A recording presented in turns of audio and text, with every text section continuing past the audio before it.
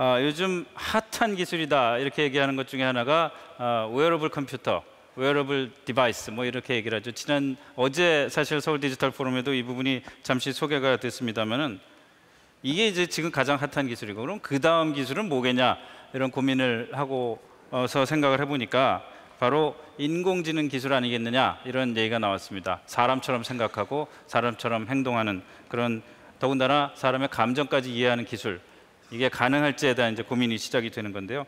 어, 뇌를 컴퓨터로 복사해서 어, 인공지능을 현실화시키는 그런 과정을 지금 연구하고 계시는 분이 있습니다. 유럽 연합이 진행하는 휴먼 브레인 프로젝트라는 게 있는데요. 이걸 주도하고 있는 어, 헨리 마크렘 교수를 이 자리에 모셔서 기조연설을 듣겠습니다. 박수로 환영해 주십시오.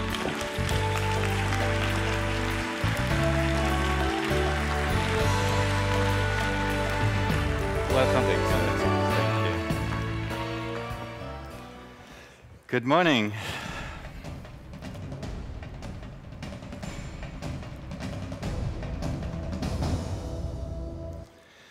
So, what you just saw was millions of pieces of information that have been gathered over the past 100, maybe even 200 years, that are coming together to form an integrated, unified, and holistic understanding of the human brain. Did you know that the world spends about $7 billion every year digging into different parts of the brain? Did you know that we generate so much data as neuroscientists that we don't even know what we know about the brain? In fact, the one thing that is common between this presentation and the next one you're going to hear about Watson is that what we have realized is that human beings can no longer understand what they are generating. We need machines to help us digest the information and achieve an understanding that is beyond what we individually can do. So the European Commission has awarded one of, it's a historic grant of a billion euros to about 100 scientists around Europe and around the world to be able to solve this problem. And what we're going to do is to bring all this information together to try to build a digital model of the human brain and simulate it on supercomputers. Now, the drumbeat there actually is because the clock is ticking, and we're going to deliver that by 2023. The story is not that simple. What we need to do to understand the brain is not just to build a telescope like the Hubble Space Telescope to look very far and very wide into the brain, or to build a microscope that can look very deep and very narrow into the brain. We actually need to build a multiscope. We need to be able to look down at the level of the genes and the proteins and the cells and to look further up as how these build together to produce all the magic that we know the brain produces and that you saw in Sherlock. So, the way we're going to do that is to build a kind of Microsoft for the brain, or Google for the brain, where we're going to bring all the information that we have ever accumulated on the brain and bring it, upload it into this environment, organize it, because in some cases it's very messy and it's different scientists producing different data. We're going to organize it, and then we're going to develop algorithms that connect all of this data to help us specify as, with as much detail as possible the entire structure of the brain. So, with this kind of technology, we believe that we're going to be able to begin to explore some of the magic of the brain. For example, all the neurons, the universe of neurons. You have about 100 billion neurons in your brain, and in fact, if you look at all these fibers, if you had to unwrap your brain, you would have about a million kilometers of fibers. Enough to go, you could lasso the moon and back twice. It runs on 20 watts. So it is an incredible machine, and we need an incredible machine to be able to look at it and to understand it. When they form connections or synapses, we'll be able to look at the entire universe of synapses. Your brain has about a thousand trillion synapses. And each of these individual synapses, they're about this smaller than a bacteria, they each contain tens of millions of proteins that are used to build these synapses. And they convert electricity into chemistry. And there are hundreds, there are about billions of these processes happening every second in your brain. And if there's a mistake in the way that electricity is converted into chemistry, then things go wrong. And if they do it exactly right, that's when you can get hypothetically a Sherlock. So we'll be able to go further to be able to start to, to do this and simulate how this works, we actually have to build new kinds of supercomputers. They do not exist today. We do not have the kind of supercomputers that can simulate the human brain. We need supercomputers that would be able to calculate at a speed of about a billion billion calculations per second.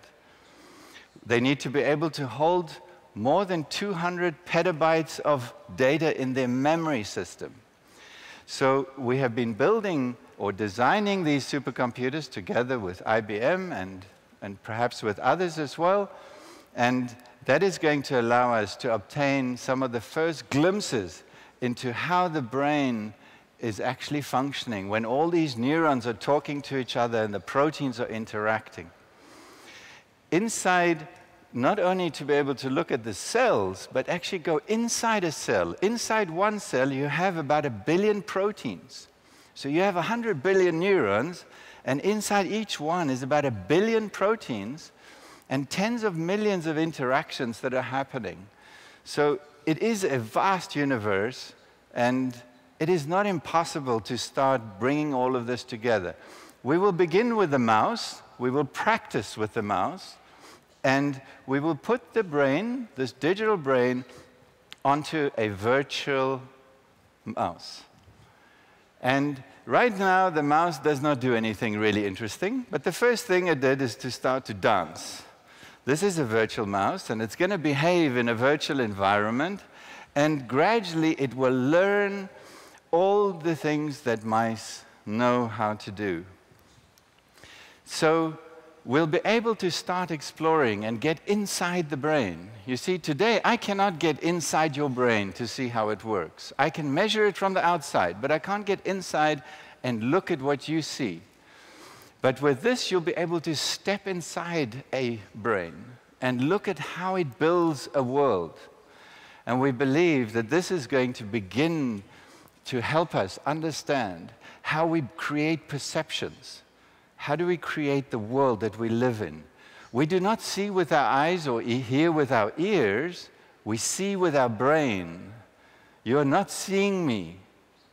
You are, you are, you are you're imagining me, actually, standing up here. Your brain is an imaginarium, and it is building this perception. And this way, we'll be able to begin to understand it. Now, this multi scope will not only allow us to understand how the brain works from the molecular level, the microscopic level, all, all the way up to the macroscopic level, but we'll be able to start simulating brain diseases. But to do that, we need to know how to configure a brain disease. What changes do you make at the genetic level, at the molecular level, at the cellular level? What changes must you introduce? To do that, what we're also doing in this project is to begin exploring and, and, actually gathering data from as many hospitals as possible, from millions of patients. And to obtain this data and to cluster it, what we want to do is to get a complete map of brain diseases. We think there are about 600 different brain diseases. And with this map, we will have specific signatures, genetic, molecular, cellular systems signatures that we can use to configure these brain models and simulate that particular disease. This technology will not only allow us to understand the brain and to understand the brain diseases, but also to build the new kinds of computers of the future. Computers of the future are reaching an end because of the complexity of the requirement to program them. The brain does not need to be programmed. The brain learns. The brain is highly robust. You could lose half your brain before somebody notices it. So, what we will do is develop the technology where virtual agents, virtual robots can learn the kind of tasks we would want them to learn, and then to take these circuit designs and to begin implementing them onto neuromorphic chips. And I think that the presentation is stuck. We'll begin in integrating them onto neuromorphic processes. We're building two kinds of processors. One of them is based on the ARM processor, which is the same that is in your cell phone, and that runs at real time, and it can be attached to robots. So you'd have cognitive chips running on, on uh, that can run on these chips attached to robots. And the other one runs at 10,000 times faster than real time. And that will allow us to learn a whole array of different cognitive capabilities. So the other thing that we realized in this project, and that's what I mentioned at the very beginning, is that we realized that there is no individual scientist. There's no Einstein for the brain. It's not going to be one person who understands the brain. It's going to be not just one person, not just one country, it's going to be the whole world. And so, what we're doing is we're building this technology to invite scientists, hundreds, if not thousands of scientists around the world, to participate and to build software, to bring their data, to bring their expertise, to bring their medical knowledge, their engineering knowledge, and to collaboratively, collectively probe and understand the brain. We're also developing the technology to help train the future doctor and engineer and scientist the, uh, in the future because a doctor in the future is going to need to use machines and informatics and supercomputers and these kinds of simulations to help them make their decisions about the disease and to personalize the treatment that they provide, as an example. And lastly, we think it's very important to involve you, the whole public and we're establishing a network of science museums around the world where the information about understanding the brain or the future of understanding the brain, the future of medicine, and the future of computers would be available to anybody at any place in the world. And we're going to develop technology that will allow you to actually participate in the building of the brain in the analysis of the data, in finding the data. So there will be a citizen participation component of this, which I think goes in line with the theme of, of the SDF conference this year. And we also think it's very important that we demystify brain diseases. You know, we have to realize that we all have problems. And actually, we need compassion and not judgment. And these things would help us to be able to make a lot more progress in terms of helping people with brain diseases, which today we believe is affecting about a third of the planet, costing probably 10% of worldwide GDP. You're looking at a $2 trillion per year problem. And we think that, it's that society itself can play an important role in it. And of course, lastly, to inspire the youth to participate and venture on this journey with us. So, with that, I'd just like to thank you very much for your attention.